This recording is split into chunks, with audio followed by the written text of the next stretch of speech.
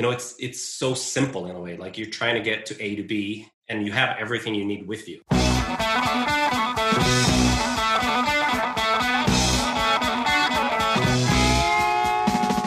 Welcome to the Low Tide Boyz, a swim run podcast. I'm Chip. I'm Chris, and this is episode 50. This is officially our carbon fiber episode. Today we have the founder of Frank Paddle, Fredrik Bengtsson. Um, as most, if not all, triathletes, current or former, would understand, we're going to majorly geek out on this interview about all things carbon fiber, the design process, and the future of swim paddles and swim run. Can't wait to share this interview with you later in the show. Yeah, I really uh, fascinating. Fascinating. From minute one. Yeah. Fascinating. On to this week's shout outs. So we are shouting out all of our listeners in Porto Alegre. Alegre, Brazil. They have a bustling swim run scene in southern Brazil, and we're grateful for everyone tuning into the show. Muito obrigado. which, uh, many thanks. Many thanks. Now, for everyone's favorite mid show theme song, This Week in Swim Run, powered by RaceID.com.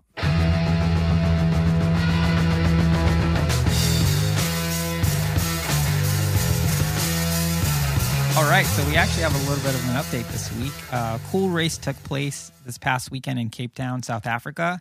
The hashtag Get Wrecked Cape Experience Swim Run, put on by try to say that three times fast. Put on by Torpedo Swim Run, looked like a lot of fun. On their website, they refer to the sport as quote wildly cool, and obviously we, we would agree with that sentiment.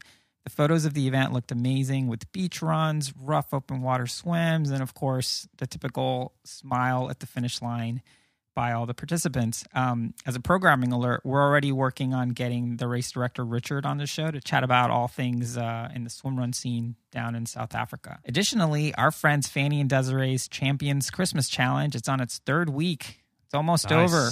So hope you're still putting your daily Ks. Uh, this week's social media theme is uh, around Christmas trees. So post up your pics wearing Christmassy tree stuff, I guess, for a chance to win awesome prizes, even a coveted Low Tide Boyz Oh, t-shirt. And we have been dropping some very relevant topical memes that right, like if, coincide with the Christmas challenge. if our memes weren't niche enough, Yeah. we're just taking it to a nichier level.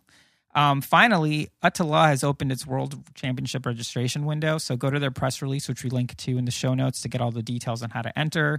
Registration is open until January 20th, 2021. So make sure that your race results are up to date and may the odds be forever in your favor. And a note on that actually, we if for some reason you did a race but you didn't log it, for some reason the load we didn't log any of our races this year and it took me about maybe 5 to 10 minutes to get all of our races and all of our times in. So it's not a hassle if you don't see your stuff in there, don't freak out. It's really easy to do.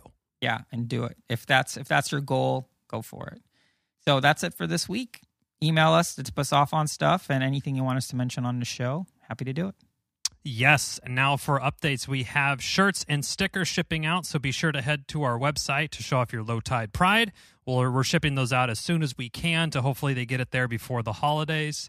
Uh, but you know, we can't do anything that the post office can't do.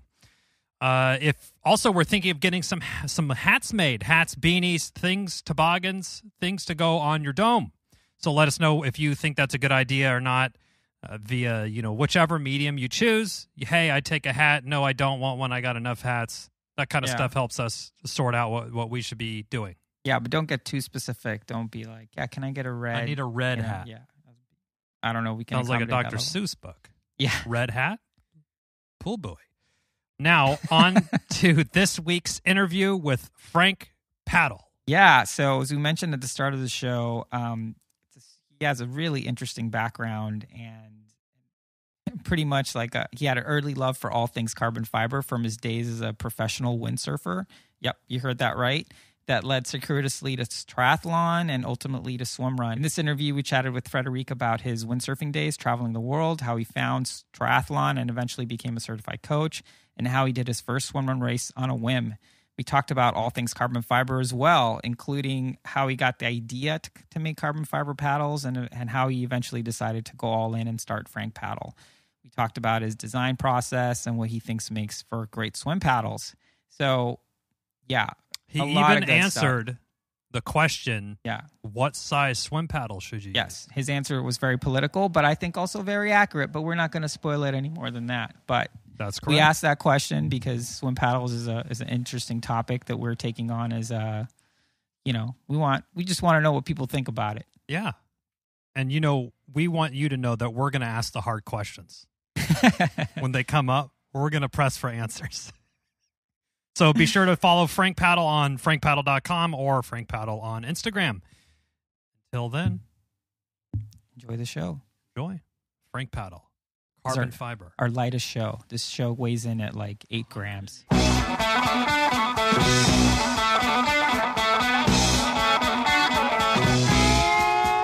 Okay, we're very stoked to have Fredrik Bengtsson on on the show. He's from Sweden. He's the creator and, of Frank Paddles.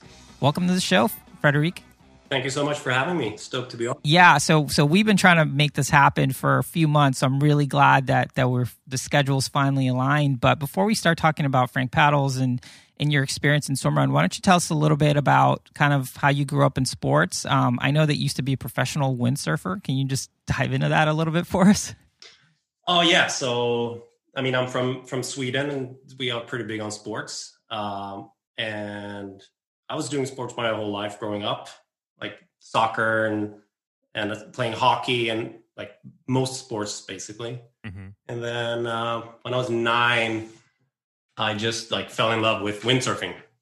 And like on the west coast of Sweden, where I grew up and where I live, it's uh, it's very windy, and it's really good for windsurfing, like wave windsurfing. Mm. Um, and I just got super hooked on it, and that was my like my one true passion in life, basically for a good decade and a half Wow.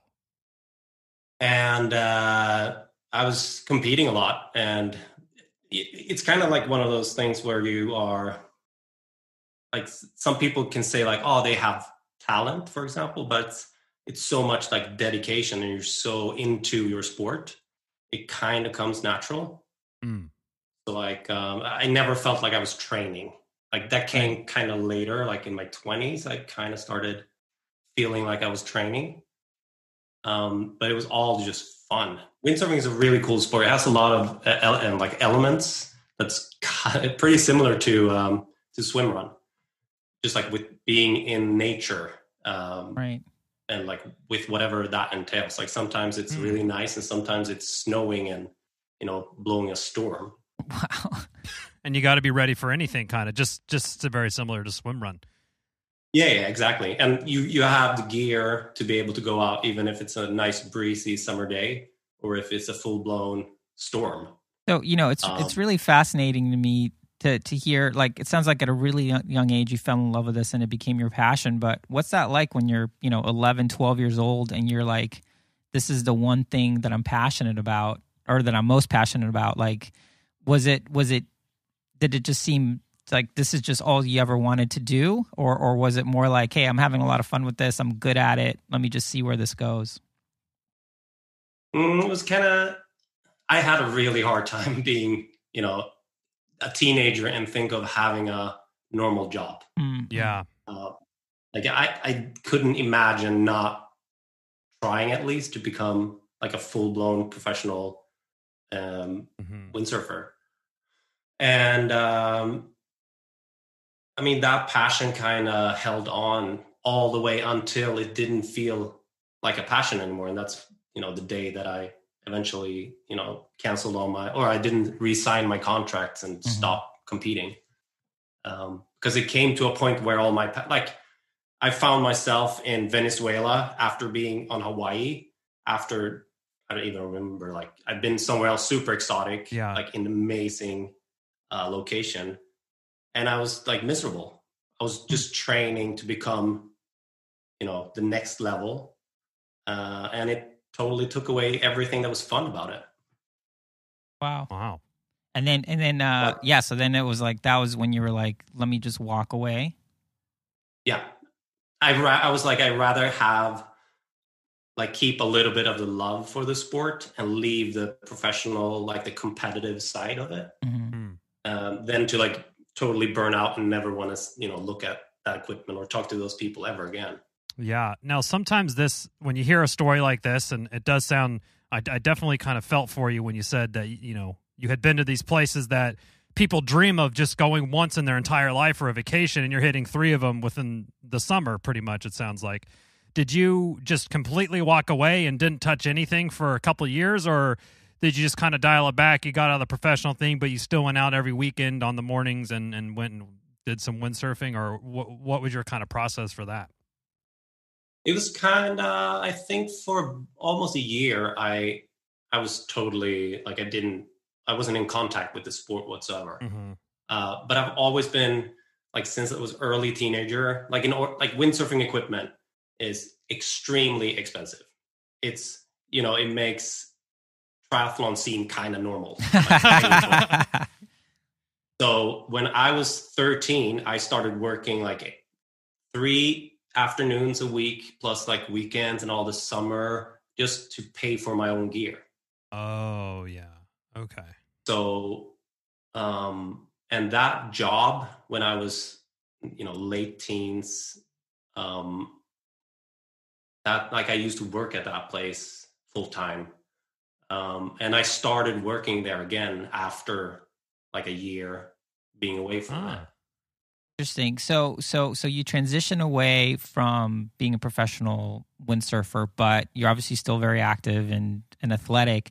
Where did um, like trash, tri- triathlon and sort of swim run pop onto your radar?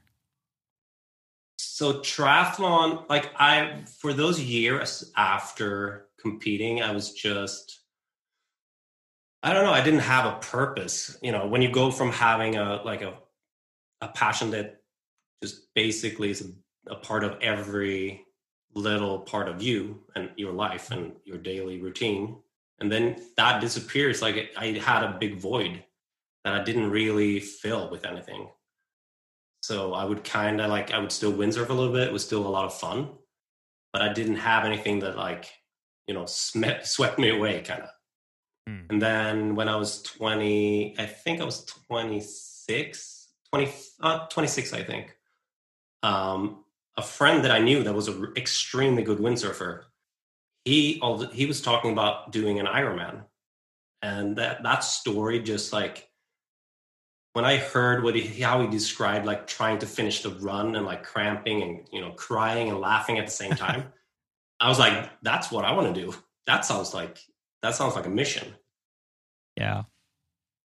uh, and that really, like, so basically when I started training for a triathlon, like Ironman was the only thing that was like worthy in Hmm. in my head.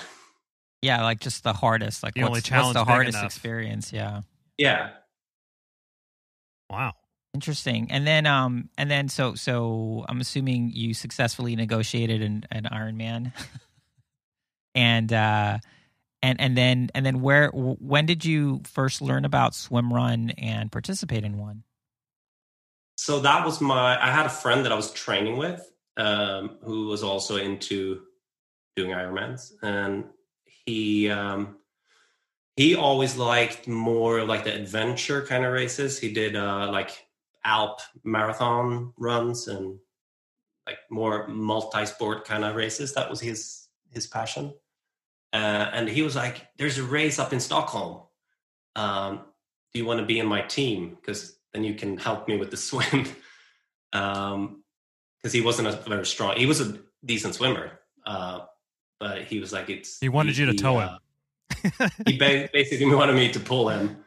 And uh and he was like I'll, I'll pay for your entry and the travel and everything. So i was like okay let's go. That sounds like fun. That's a good deal. yeah. So um yeah so we went up to amphibiamannen i think this is 2014 i don't think it's 2013 it must have been 2014 um and it was super cool but i was so into um like the whole ironman because ironman was still so new to me. Yeah. that like I never uh, I like I didn't see myself doing a lot of, of swim runs because it was like you know in Sweden they would be in the season of all the triathlons Right. and then 2015 when we were traveling so I I started traveling a lot to be able to train um, to be doing training the whole winter. hmm Um, ah, so, and during that time, that's when they released the um, Ironman coaching certification. Oh yeah, that's right. And I've always been like I've been coaching a ton in windsurfing. I have a certification for for coaching there, and even coached it at um what would be basically a college that we have in in my town. Hmm. Um, so I was teaching a lot of people to windsurf, and so it's kind of it was like I really love doing that. So it was a natural transition to be you know because I was so passionate about triathlons mhm.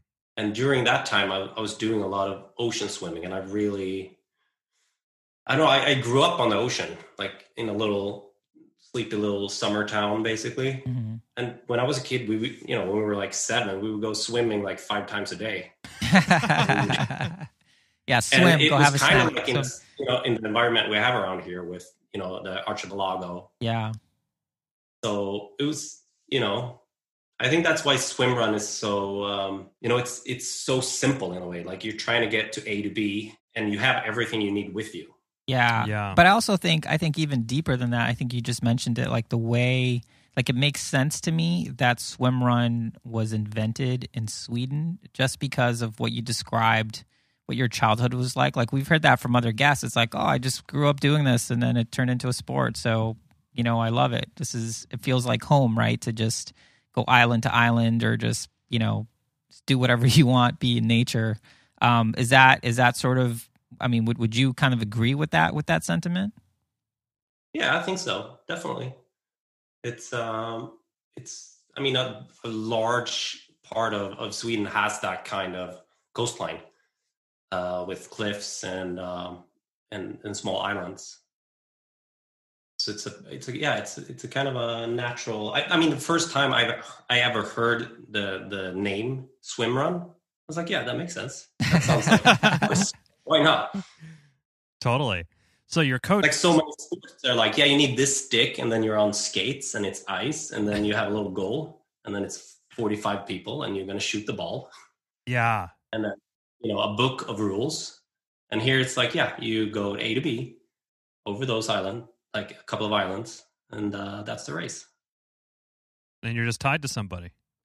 The simplicity of it, I, I think, is probably pretty attractive. I mean, when you're explaining it the first time to somebody, it's complex because there's lots. You kind of have to. They think it's one run and then one swim, but you kind of have to explain the transitions and then the partner, and then you're forgetting stuff. But yeah, I mean, it it is when you think about it, you're just going from A to B on whatever route that you kind of want, and you can swim some of it and you can run some of it, and you're doing it with a friend. Yeah. That's essentially the distilling of swim rundown. So you yeah you're coaching you're coaching triathletes. You're racing still triathlons here in 2014 15 at, I, i'm assuming as well? Yeah yeah yeah. And then where did sort of the idea that you needed to make a carbon fiber swim paddle come from and where did the like where where did the frank paddle come from Um, so the first time that I ever thought of it is like, like I've been working.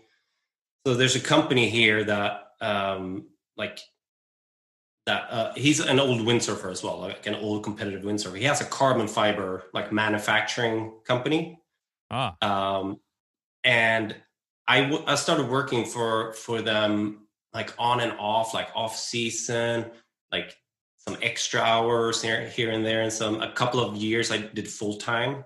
So I think I have like fifteen thousand hours of working with carbon fiber through my lifetime. wow okay And so when I started swimming a ton, I was like, why is why is why, why are we using plastic? And it was like bendy and flexy and heavy. It's like it doesn't make sense because windsurfing and I mean triathlon bikes as well. I mean it's all about lightweight, you know, the right yeah. flex. windsurfing kit sounds like kind of like an f1 car or something Yeah, yeah, it's all carbon fiber. I, I mean, I had since I was like ten years old. I basically had all carbon fiber gear. Wow. and That's why I had to work all the time. Yeah, you gotta Yeah, pay it's for all that carbon. yeah, so so um so you're like, I see a problem and I think I know the solution. And so so how long before well, how long did you have the idea, and how long before that idea actually became Frank Paddles? Did you start right away, kind of tinkering with it, or did you sit on it for a while? Yeah, the first idea I I started googling it, and I like I I couldn't find anything on it. So this must be like twenty. I think in 2015 I started looking into it, and I there was nothing. So in a way, I was like, "There's got to be a reason. Like, why you wouldn't use it?" Mm-hmm. In my mind, it wasn't so much for for swim run at that point. Actually, it was more like I want to have a really good, like, um, stable paddle for my swimming because I use paddles so much in my training. I would use them every every workout, five days a week in the pool, uh, in some you know in some form. Right. Wow. Um, and so when I started making them, the, like the first couple of prototypes, I never forget because a, a, old friend of mine that's a carbon freak as well. Uh, he's an ex pro uh, cyclist. Oh yeah, they love and, that. Stuff. And I was talking with him, and I was like, I, I was I'm thinking of making carbon fiber swim paddles, and he was like, why? I'm like, what? Are you kidding me? Well, you love carbon fiber. He's like, yeah, no, no one's gonna pay for it maybe maybe it'll work, but no one's gonna buy it. It's like what? Oh, maybe. Oh, that sucks. What a downer! Wow. And actually, the first prototype I made, like he tested it and he was like, "No, nah, it's not good. I don't oh, wow. like it." So, I, so I had to go back and be like, okay, so, and that was a pretty simple construction, uh, which would have been an, a construction that would be possible to, you know, make them half the cost, basically. Right. Mm, okay and it didn't work. This sucks. Okay, I'll try it this way. It's much, you know, it's much more labor intense and more expensive in materials. But and then I tried that, and that was that was a the ticket. first one was okay. Like so, the second prototype, and the third one was like, oh, now now I get it. Now I know what I need to nice. start looking into doing. And then, I mean, the first the first model I I I actually sold, I'd made fifty prototypes of different paddles Wow. Oh. Stiffness and holes. And that's why it's so much fun sometimes when I read comments um, of like how a paddle should be. Because I've tested, you know, 50 of my own and then probably 20 other brands like plastic paddles, yeah. just to, like for reference. Um, and uh, I, I mean, today the, the the model that I released a few months ago is compared to the that first one I released, it's like space age in between. Right. Wow. Man, I'm this is so curious. This is so fascinating to me. I'm gonna have to dig in on this a little bit for you if you don't mind. Do you can we call you Frank? Is that okay actually? Or can I call you Frank? Yeah. Okay, thank you. Great, Frank, thanks. So a self proclaimed carbon fiber freak, which, you know, I appreciate that. For the layman's, I know the answer. Our listeners might not though. Why is carbon fiber so expensive to produce and like why is a bike at target or you know wherever a couple hundred dollars versus a carbon fiber bike why is that ten thousand dollars like what's what how come I think there's a little bit more of a range there, but yeah. yeah Yeah, I mean, there's basically two parts. Um, so one is the material itself. So to make carbon fiber, uh, you take an or- organic polymer, and then you basically you it's like the process is super uh, complicated, but basically what you do is you take a fiber and you pull it through a, a bunch of different chemical and heating. So they heat it up to five and a half thousand Fahrenheit uh, with zero oxygen. So then they make the so so what you kind of the end product is like long strings of molecules that bound together um, Mhm. with carbon atoms, and those like they're very very long, and so what you get is something that like if you pull on it, it's it's extremely strong, like it, it doesn't flex. okay So what you can do, you can use then like super thin uh, carbon fiber and make it really stiff compared to how um, how uh, light it is. So how heavy it is. okay so the material is is is labor intensive to produce and expensive because you have to heat it up with probably really expensive Yeah, you- machines you and stuff, special and then you need a lot of this material because they're all in these really thin fibers. yeah, and, then you they have to make that into a weave. Then you have to like weave that all together.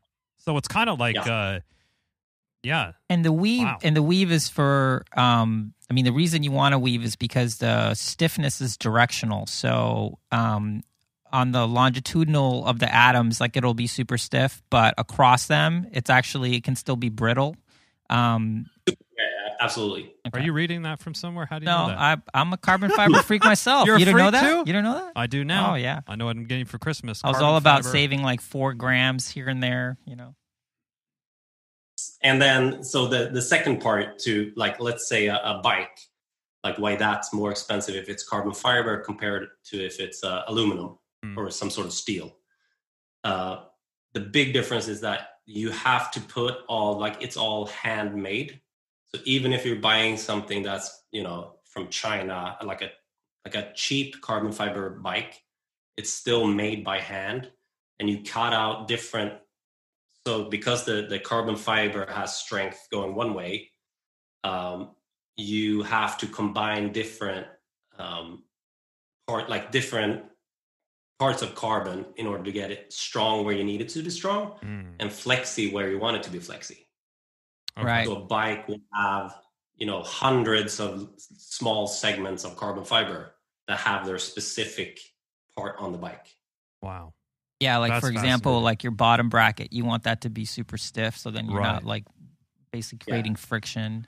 Um, and then you want the top tube to be to absorb some some uh, you know vibrations. some yeah. movement and some vibrations because if you make it super stiff you, are just gonna be it's just gonna vibrate the whole bike Wow. So so so then bringing that to paddles, I mean, I guess that you you want a certain amount of stiffness, but you also want it to be, I guess, a little bendy depending on on whatever elements Also, you're going to be in, yeah. right? that that's a lot of like that's when you start working uh, in what's called a sandwich construction Mhm. so you have a core material that is not carbon fiber that has a lot of air into it so it's super light Mhm. uh, but they also have it so we have that in of course different variations and in different uh, densities so different weights uh, so with the thickness of that material and the type of carbon fiber and the angle of the carbon fiber, you can totally, I can make a paddle that's extremely soft, or I can make one that's hard as a rock, you know, that doesn't flex at all. This is this is crazy. So the, the cool part about making it with a composite material, so it's different materials combined that makes the, the end product. Mhm. The cool thing about that is you can change it. You can make it however you want it to be. So if someone told me, "Oh, I want this to be, you know, half as stiff," I I can make something that's half as stiff. Or if you want it to be even more durable against rocks, for example, you can introduce a different material on the outside to protect the carbon fiber. hmm Mm. Wow. This is I'm I'm loving this. Okay, so you're testing 50 different paddles and and whole layouts for your your wrist strap or your finger strap kind of where do you start like where's the big chunks that you're that you're trying to optimize right away versus the one that's like okay i'm going to move these three holes two millimeters to the left and, and then reprint this paddle versus what's the big sweeping changes that you're kind of making to to optimize those first few prototypes that you had A lot of it was shape and flex. okay Uh, and the first model had a different shape that had a rounded, for like the one I, I really liked that kind of shape for my first uh, the first model that was called the blue, um, because I really liked the way it, it moved in the water with the kind of stroke that I used to have myself, Mm. uh, which was a longer, slower stroke. Um, and then but the biggest difference that that was like the eye opener for me was the fact that I could actually see that I was improving my my speed with the same effort, or actually less. I I felt like I was using less force for a slight increase in speed. gotcha And and the actually one thing is when you pull the paddle through the water, uh, like with the carbon fibers, I never found them to be wobbly. Like I, they never started to like go on, you know, sideways on you mm-hmm. because of the turbulence. Oh, interesting. Because a, a, paddle is really interesting because when you when you stick your hand in, it you you work with um with a linear flow. So as soon as you start pulling in the water, it, it just turns into a lot of turbulence. And for me it was controlling that turbulence that made my the, the paddles uh, behave better for lack of a better description uh, to behave better in the water okay yeah. so i felt like i was saving my shoulders like i didn't have you know have you ever used a paddle that's super super flexy and you just get tired in your shoulders like your delts mm-hmm. yeah how you have to like control the paddle yeah, definitely. Yeah, like the entry level paddles that have like a lot of holes in them can can be can be like that. Um, now, some paddles also have like a little bit of texture on them to, I think, help with that turbulence. Um, is that something that you found was helpful or not helpful in, when you were designing yours? Yeah, the first one I actually I I noticed that I and I um, the paddle had more control when I had that texture on it. Um, uh, and it also helped you know gave it grip and also gave it actually a little bit of um like that surface made it a little bit tougher against um you know rocks like scrapes climbing and stuff. Yeah. um but with actually with the second uh, paddle that i i launched a, uh, a uh, two months ago um i have a different finish on it like a matte finish. And that just for some reason that felt better with this shape. And i don't really have a good explanation for it but it is very different and it's thinner as well the paddle. Nice. So okay you you made a couple prototypes. You gave one your buddy. He he kind of poo-pooed on it a little bit. You went back to the drawing board. At what point did you kind of have something that people were you know i mean you're you can't buy your paddles on your website. Like you don't have stock on them so they're obviously the demand is higher than than the supply, or at least the supply you're willing to produce, I suppose. Um, so so where did you kind of like realize that hey, I really have something here, or were you totally fine? Just hey, I made something for myself, and it helps what I want to do, and I'm cool with just if if I'm the only one who uses these, that's fine with me. I, yeah, it came to that point. I was really, uh, you know, I tried it out. I had quite a few people like buy some of the early like the early models and try prototypes for me and like give me their honest opinions. Uh um yeah i don't know. I, I it was never like you know a lightning from the clear blue sky okay. kind of it was more it was something that was creeping. It's like yeah maybe because you know initially i wasn't it wasn't towards um, swim runners. It was more you know triathletes that wanted to have something fancy in the pool. Yeah. So i mean you know if you're just using it for training like you don't care if oh today i didn't have to lift 1100 pounds on my swim session because i had a lighter paddle you know so i was then it was just hmm. the, the stability and some i wasn't sure that people would care enough to be honest interesting yeah, I mean, I guess for training, yeah, I can see why that wouldn't be a thing. But for swim run, I mean, uh, a friend of the show, um, and friend of Frank Paddle, yeah, G Flow and Tobias from Germany.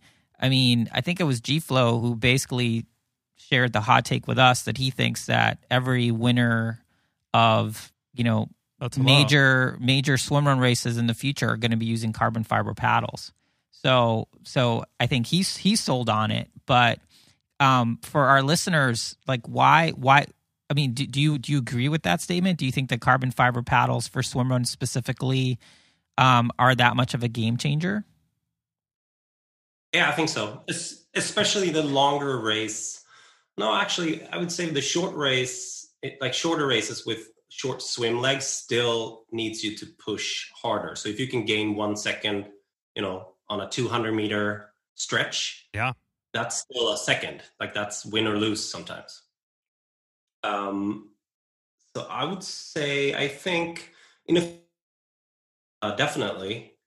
Um, I think as with a lot of sports, there's also a little bit of a retro pushback in a way. Like you want to have the old school stuff. You don't want to have the high tech, Yeah. latest.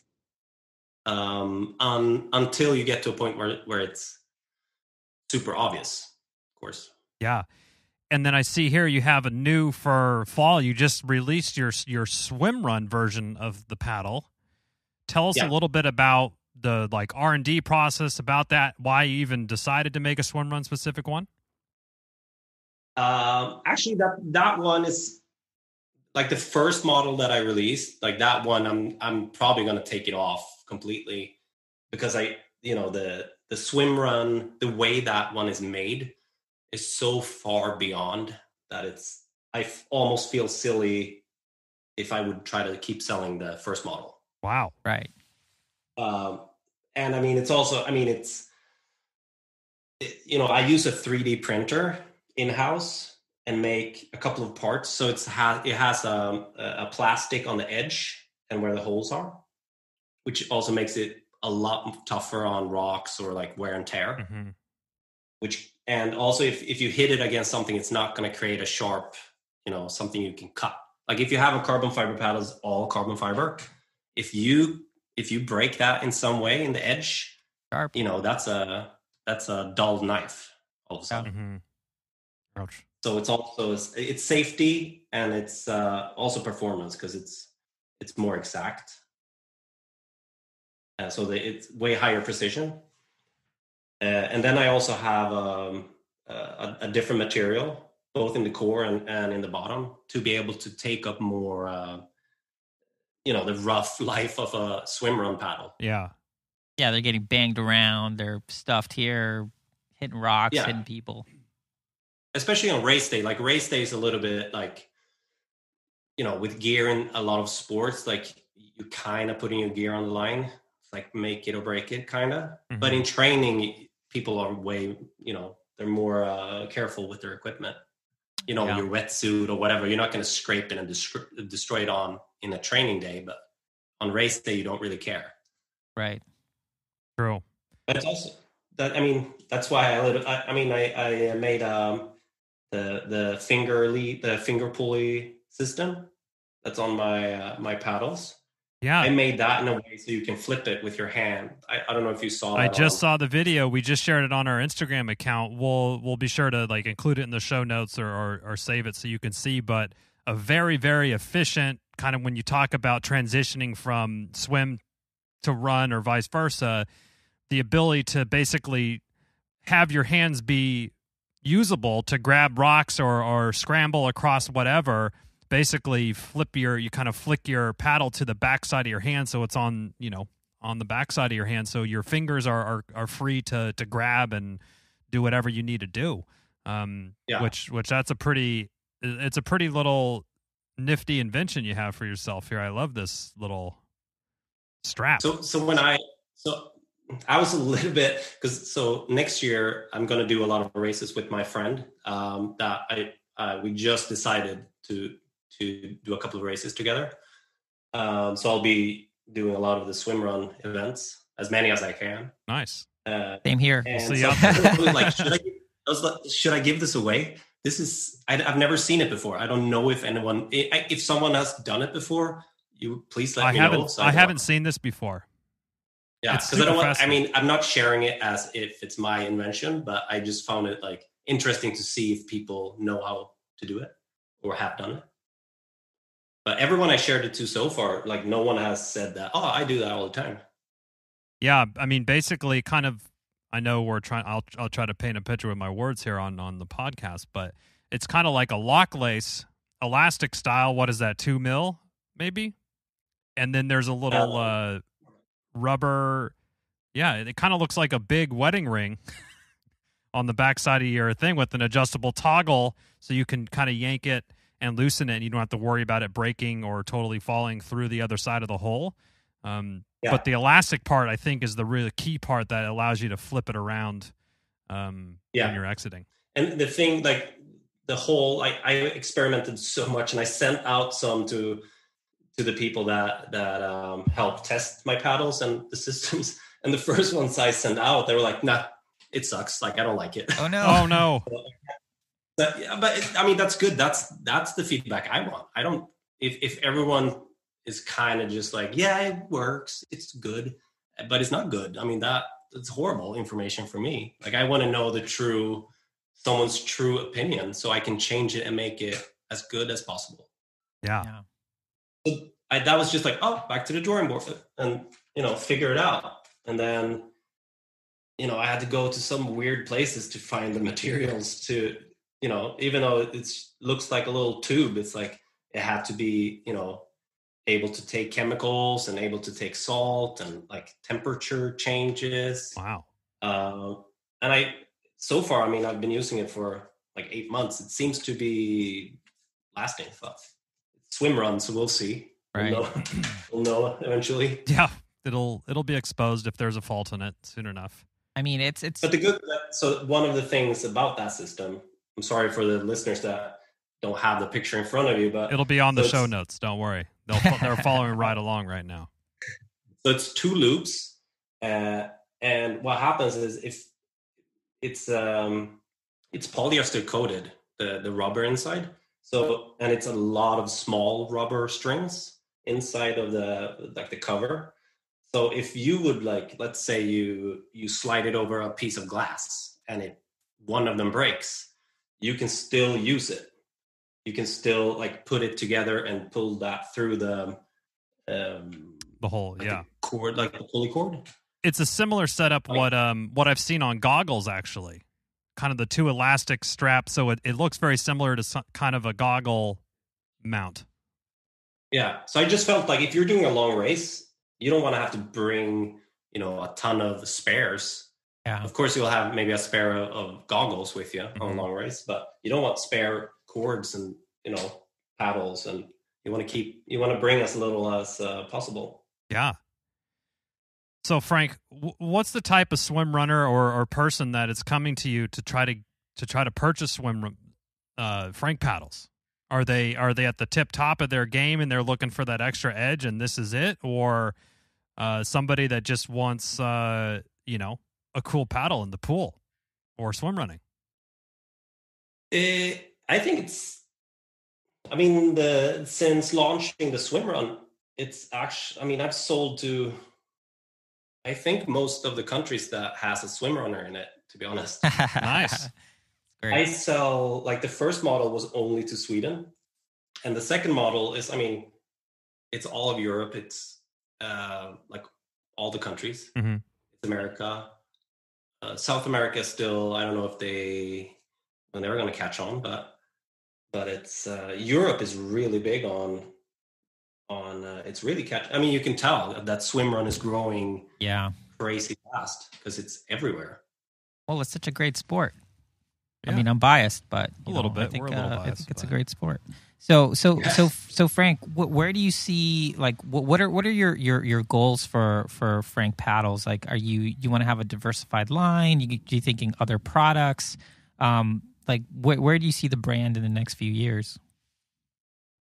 Um, I think a little bit like the whole idea behind Frank Paddle, why it even started, and why I'm doing it the way I do is that I'm I really don't like when something is, you know, you design it in your country and then you ship it away to have it made, you know, in, in China and then you send it back Mhm. uh, I really like the fact of having it locally, you know, in Europe, in Sweden, in my town, like in my own, um, you know, factory, um, and, and having them handmade. Like I don't want, I, I don't want to outsource it ever, and uh, I don't. I, I'm going to do everything I can to never ever be in a position where I have to make them somewhere that's not like in America or Sweden or like Europe for sure, but like I don't want to send them off to like a sweatshop, and Yeah, Right. that's. Yeah, it's I an hope I never ever have to even consider doing that. it's an it's an artisan product and you're the artist and you you know this is your your baby essentially and you want to have complete oversight on it which makes a lot of sense to me Yeah, I mean, I think there's also another piece. There's sort of the environmental piece, right, where a lot of these things are made in China and Taiwan, and the process of making carbon fiber actually, you know, isn't that fantastic for the environment. So you can at least mitigate that a little bit by not shipping not having it to ship yeah. it all over the place and, and all that stuff. I think I think it's noble, not only uh, a good idea.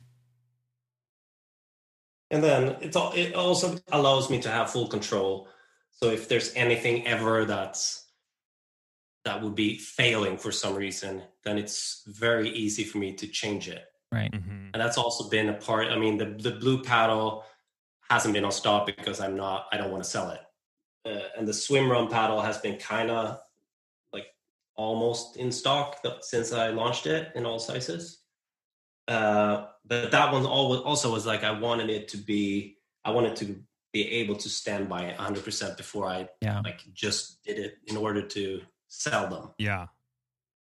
Because I don't want to like I don't want to sell something that's not the best or you know the best that is possible to make.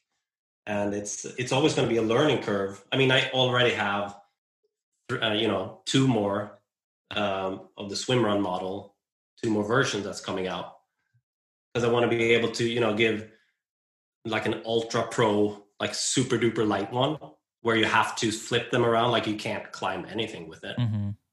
because you're gonna break it. Like I want to make one one of that one like that for someone like myself that I'm never gonna use them to climb a, a rock ever.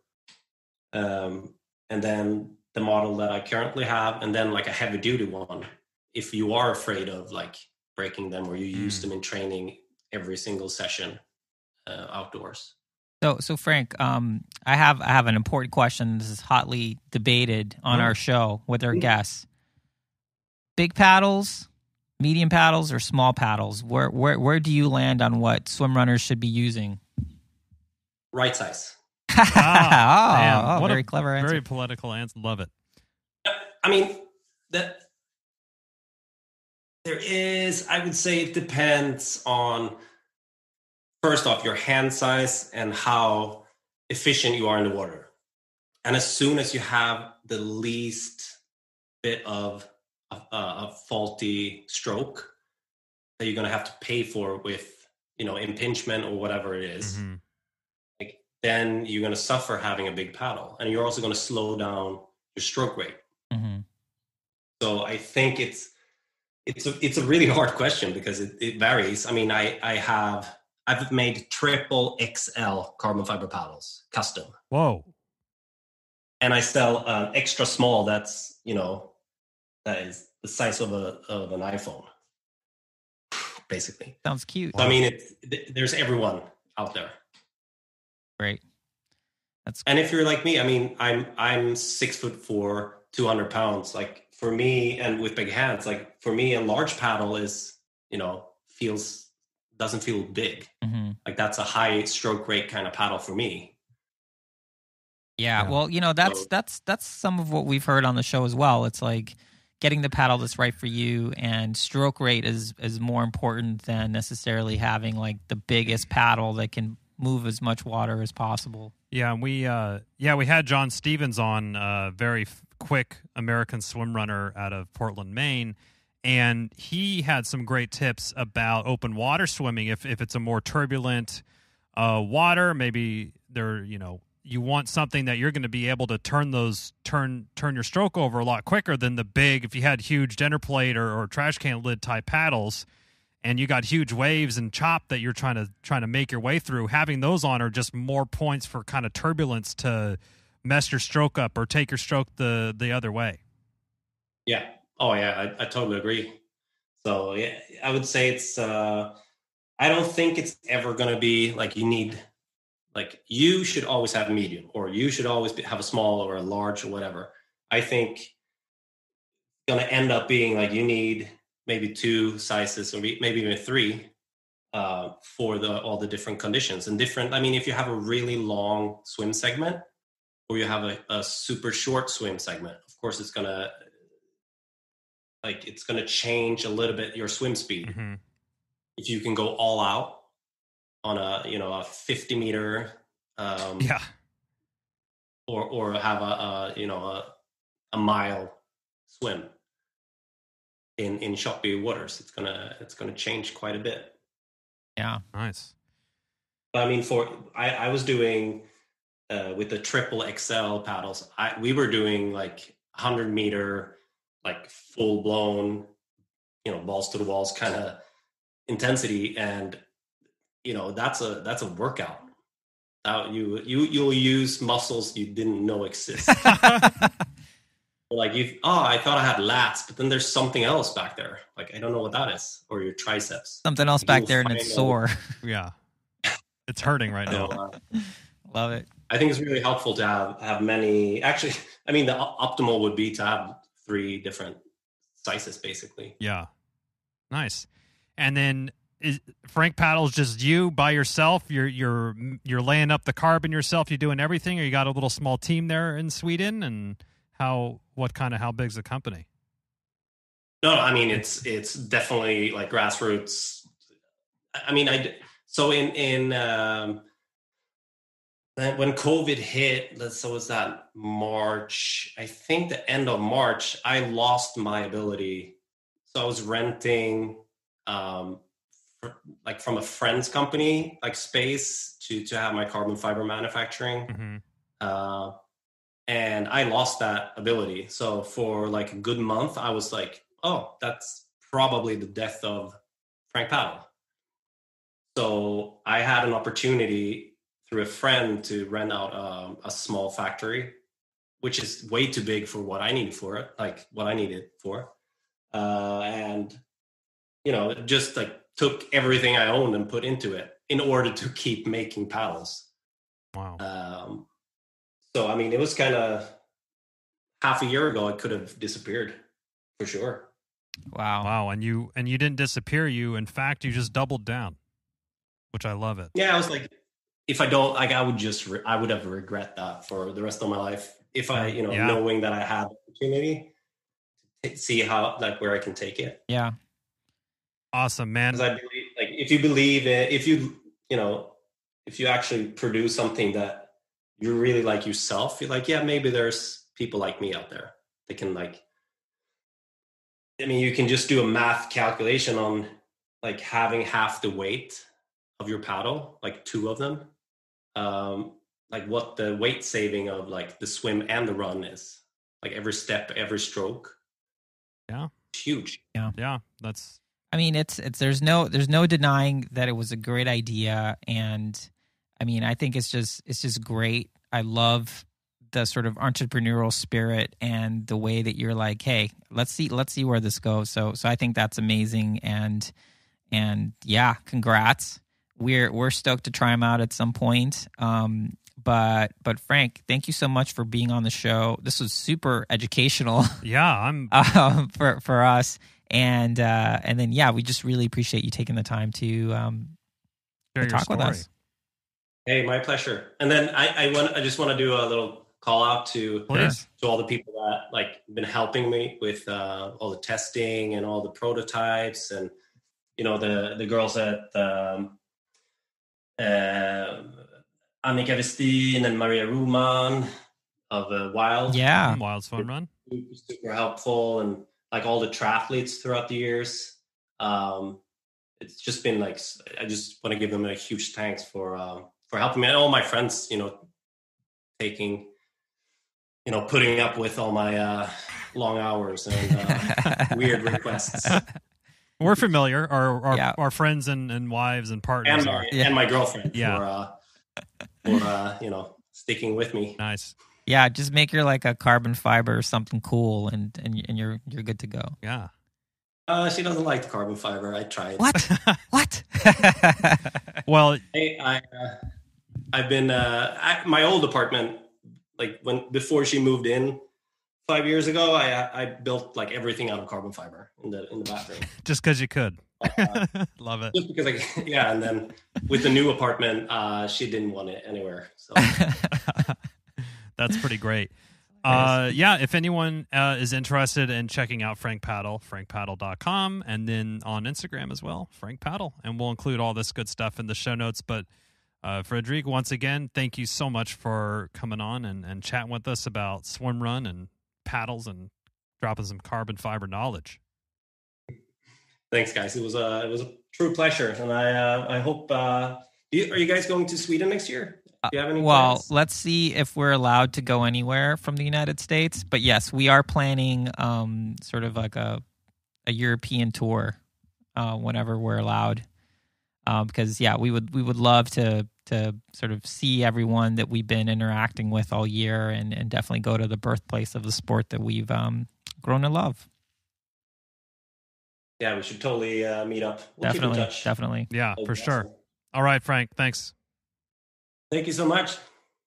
Thank you for listening to the Low Tide Boyz, a swim run podcast.